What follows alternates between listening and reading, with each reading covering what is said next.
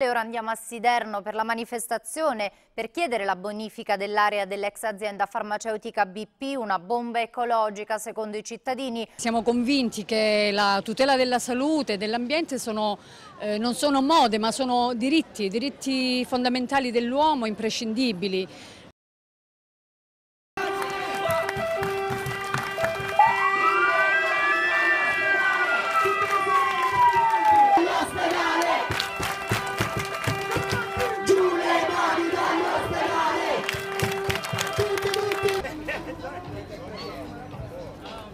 Jeśli nie, że można.